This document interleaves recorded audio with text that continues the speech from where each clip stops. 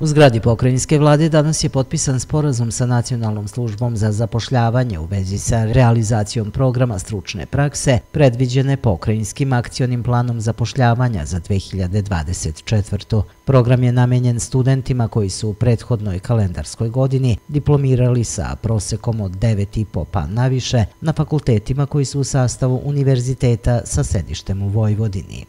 Do sada preko 60 takvih studenta u prethodnoj tri ciklusa ovih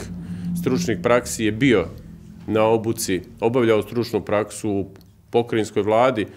organima pokrajinske vlade, organizacijama kojima je osnivač pokrajinska vlada i ja sa ponosom ističem činjenicu da je 17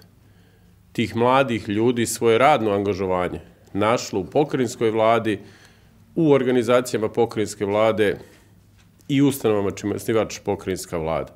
U cilju podrške i podsticaja preduzetništva u Vojvodini u predlogu budžeta za narednu godinu, kako je naveo, za mere zapošljavanja i samozapošljavanja predviđen je tri puta veći iznos sredstava u odnosu na ovu godinu. Najveće interesovanje zaista je za meru samozapošljavanje i to e, verovali ili ne najviše zanatlija se upravo javlja za registrovanje sobstvenih firmi, znači mogu da potvrdim da su to uglavnom ljudi koji se već bave tim poslom, a sada bi prešli iz takozvane sive u legalnu delatnost.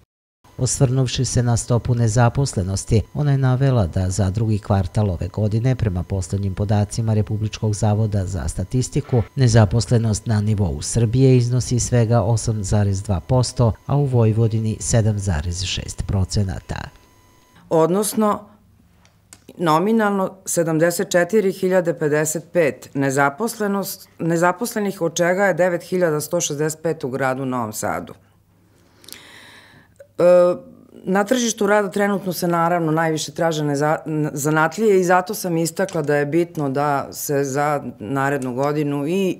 e, na nivou pokrajine, s obzirom da je dosta toga odvojeno na nivou Republike, pa i lokalnih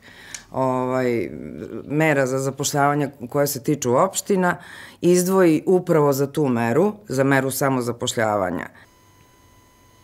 Najpotrebniji su, kako je rekla radnici, u ugostiteljstvu, saobraćaju, građevini, ali i u brojnim drugim oblastima, vodoinstalateri, bravari, operateri na CNC mašinama. Na listi traženih zanimanja su i ona za koje su potrebne fakultetske diplome, pre svega tehničkih fakulteta, medicine i farmacije, a u poslednje vreme i društvenih, pravnih i ekonomskih, kao i onih potrebnih u prosveti, naročito fizike, medicine i hemije.